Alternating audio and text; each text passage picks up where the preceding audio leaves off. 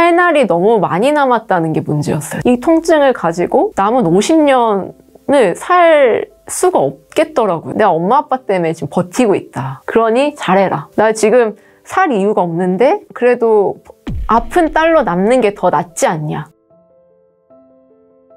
저는 복합부위 통증 증후군 CRPS라고 하는 질병을 5년째 앓고 있는 김소민이라고 합니다. CRPS 환자가 힘든 것 중 하나가 돌발통이라는 것 때문에 좀 되게 힘든데 24시간 지속적으로 가지고 있는 통증과 별개로 돌발적으로 통증이 심해질 때가 있어요. 말씀드린 것처럼 어떤 자극이 오면은 통증이 순식간에 더 솟구치기도 하는데 정말 아무 이유 없이 돌발통이 오기도 합니다. 이 돌발통은 하루에 몇 번씩 찾아오고 짧게는 30분에서 1시간, 길게는 몰핀 주사를 맞기 전까지 사그라들지 않을 만큼 돌발통이 세게 오는데 제가 원래는 니드포비아라고 주사 공포증이 정말 심한 사람이었어요. 근데 CRPS를 앓다 보니 빨리 주사 바늘을 잡아야지 CRPS 통증을 없앨 수 있잖아요. 하루에 많게 잡을 땐 주사 바늘만 10번 넘게 주사 바늘 잡기도 했거든요. 우리가 차를 타면 차가 덜컹거리는데 당연히 그것도 통증으로 와닿았고 병원 내 에스컬레이터가 있으니까 에스컬레이터를 타면은 에스컬레이터 특유의 진동이 있어요. 그러면 이제 그것 때문에 저의 통증은 폭발적으로 올라가서 바로 주사실로 실려가는 경우도 있었고요. 제가 오른발이 아프다 보니까 걷질 못해서 휠체어를 타고 다녔는데 누군가 지나가다 휠체어를 살짝이라도 치면 저는 그 순간 통증이 솟구쳐서 난리가 나는 상황을 맞이하게 됩니다. 오해가 생겼던 상황도 있는데요. 굉장히 사소한 자극에도 저희는 남들이 보면 오버해서 통증을 호소하는 것처럼 보이다 보니까 병원 내에서 지나가던 분이 저를 치셨는데 제가 갑자기 휠 체어에 탄 상태에서 막 울고 난리가 나다 보니 살짝 치신 분이 억울해서 어 이 사람 이상하다. 나는 정말 툭 쳤는데 난리가 났다라고 해서 병원 관계자분들이 달려와서 아 이 환자는 원래 그런 환자다. 이 병을 모르시는 분들은 제가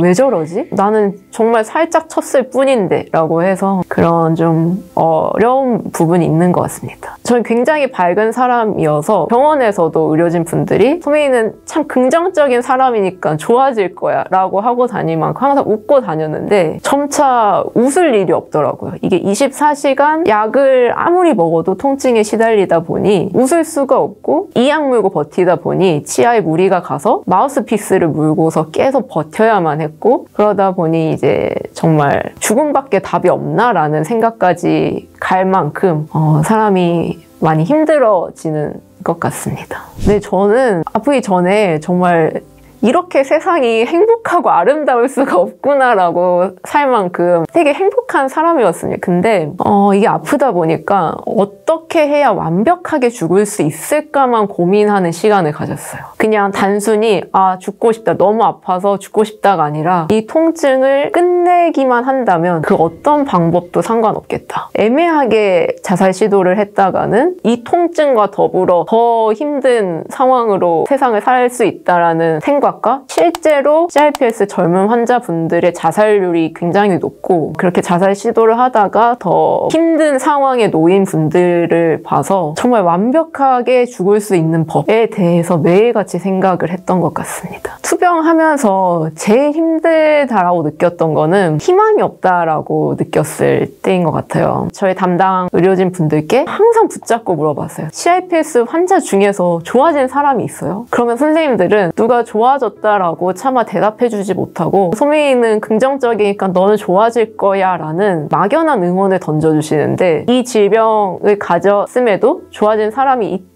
라는 희망을 가지는 것과 좋아진다면 도대체 얼만큼 좋아지는 걸까? 지금처럼 일주일에 세네 번씩 병원에 와서 주사를 맞아야 되는 걸까? 먹는 양만으로도 통증이 조절되는 걸까? 이런 질문들이 계속해서 있었는데 그렇게 좋아진 환자분들이 많지 않다 보니 희망적이지 않은 상황에 놓인 게 저를 되게 힘들게 했던 요인 중 하나였던 것 같아요. 또 다른 힘든 게 젊다는 게 저한테 너무 힘들더라고요. 보통 사람들이 젊으니까 이겨낼 거야 라고 위로를 해주는데 제가 투병을 해보니까 젊으니까 문제더라고요. 살 날이 너무 많이 남았다는 게 문제였어요. 저한테는. 아무리 치료를 받아도 순식간에 악화되었고 좋아질 환자가 없다라고 저한테 이야기를 해주는데 이 통증을 가지고 남은 50년 삶을 살 수가 없겠더라고요, 저는. 그래서 젊다라는 게 이렇게 힘들구나. 희망이 없다라는 게 힘들구나라는 거를 같이 느꼈고요. 또 제가 약을 굉장히 많이 먹게 되었는데요. 하루에 많이 먹을 때는 배가를 넘게 먹었어요. 그렇게 약을 먹는다고 해서 통증이 없어지는 건 절대 아니고 정말 사람이 죽으면 안 되니까 최소한의 삶의 행위인 먹고 자고 싸고 이거를 하기 위해서 약을 계속해서 넣었는데 이 약이 약을 부 른다는 것처럼 약의 부작용들이 굉장히 많아지더라고요. 어떤 약은 3주 만에 7kg가 찌기도 하고 어떤 약은 이 피부에도 부작용이 와서 지난 몇 년간 매운 음식, 고춧가루가 하나라도 들어가면 그런 거는 다 먹지 못한 시간을 보냈고 머리부터 발끝까지 일으키는 부작용이 정말 다양하게 있다라는 사실이 통증만으로도 힘들었는데 부가적으로 하나씩 짐이 지워지는 것 같았습니다. 저희 가족 그리고 부모님은 의료진 분들이 인정한 최고의 보호자세요. 지난 몇 년간 저한테만 저한테 모든 걸 맞춰 주셨기 때문에 제가 지금 이렇게 호전이 되었 싶다라고 감히 이야기를 할 수 있을 만큼 두 분이 정말 저한테 모든 걸 맞춰주셨는데요. 아빠는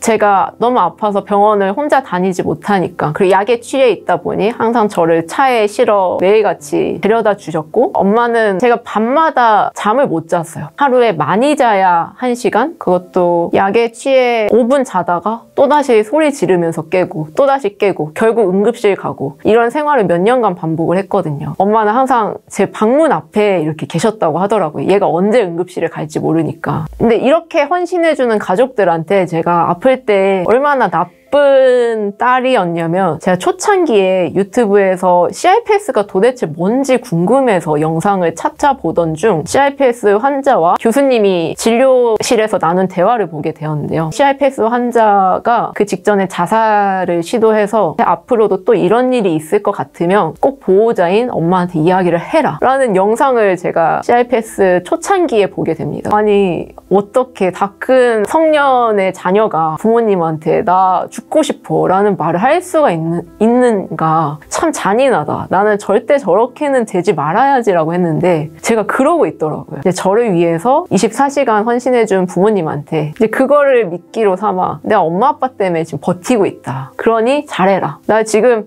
살 이유가 없는데 그래도 아픈 딸로 남는 게 더 낫지 않냐. 그러니 버티고 있다 라는 말까지 할 만큼 좀 힘든 시간을 보냈던 것 같습니다. 제가 글을 쓰는 이유와 여기 영상에 출연하게 된 이유 는 정말 단 한 가지인데요. 저처럼 지금 CRPS를 앓고 계시는 환자분들 또는 보호자분들 또는 장기 투병하고 계시는 분들이나 절망 속에 빠진 분들한테 희망을 드리고 싶다라는 이유밖에 없었습니다. 희망이라는 단어가 지난 몇 년 동안 가질 수 없을 만큼 되게 힘든 시간을 보냈고 저는 CRPS 환자 중에서도 굉장히 상태가 좋지 않았다라고 교수님이 말씀을 해주시더라고요. 통증으로 인해 숨을 쉬는 것마저 힘들 만큼 그렇게 24시간 몇 년을 지냈는데 CRPS 환자들과 알 수 없이 장기 투병하는 통증 환자들이 너무 많은데 생생한 투병기와 좋아진 모습을 말을 해준다면 그런 사람들에게 힘을 주고 희망이 되어줄 수 있을 거다라는 조언을 해주셔서 내가 좋아진 모습이 누군가한테는 희망이 될 수 있겠다라는 생각을 그때 가졌던 것 같아요.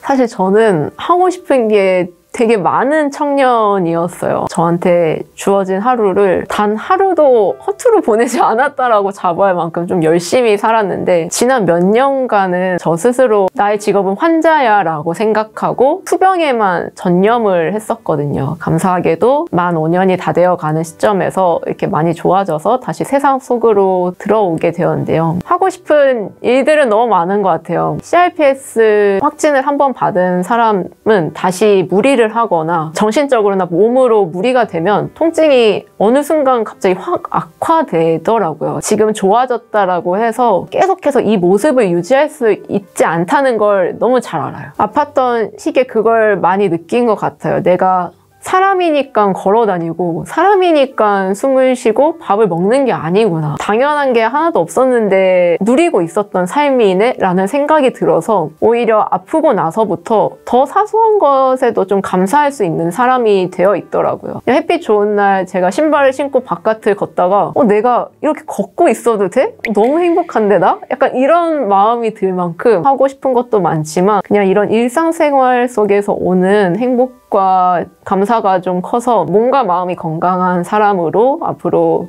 살아나가고 싶습니다.